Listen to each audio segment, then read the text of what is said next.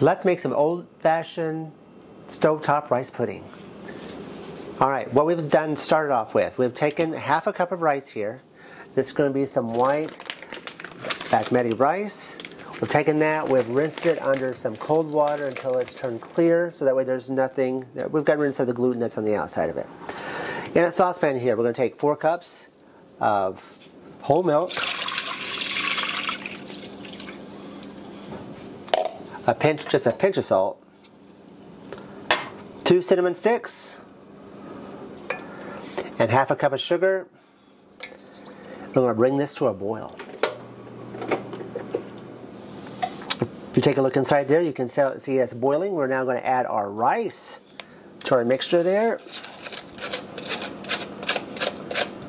Stir that in, and we're going to put this on a medium-low heat, and we're going to let it cook for 30 minutes as you take a look, you can see that that has really reduced a lot. We're going to turn, pull this off to the side. But we're going to leave our heat on because we're not finished yet. Um, we're going to take our cinnamon sticks out. Now, while we were doing this, uh, cooking, we made sure that we stirred it a lot. It's going to bubble up a lot. Stir it up. We don't want it sticking or burning it to the bottom. I'm going to make a mess on Mom's counter. Don't tell her. She will never know. Well, she, except for the, well, I'll leave it. Maybe she'll know. All right, so once we get that done, we have one egg over here in a bowl. We're going to take and we're going to scramble that egg up real, real well.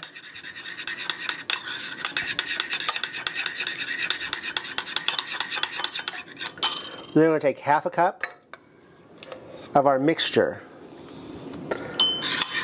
I'm just going to kind of slowly temper our egg and add that to it. We want to make sure that we don't cook our egg. Now, if you like these recipes, please take a moment to like, subscribe, share.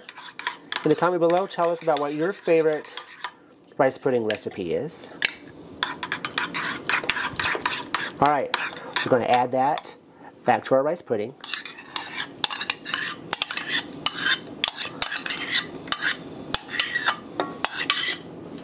We're going to stick this back on the heat and cook it two to three minutes. We just want to make sure that the egg is cooked. All right. A little bit of that cook. We are taking it off just a little bit early. Uh, you don't need to do the full two minutes. It all depends on how thick that you want it. If your if your pudding becomes a little bit too thicker than you want, you can always thin it down a little bit by adding just a little bit of heavy cream. We're, To this, we're now going to add one teaspoon of vanilla. We're going to mix that in.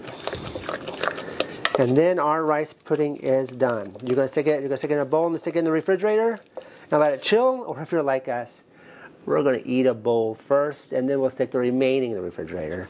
But we appreciate you watching.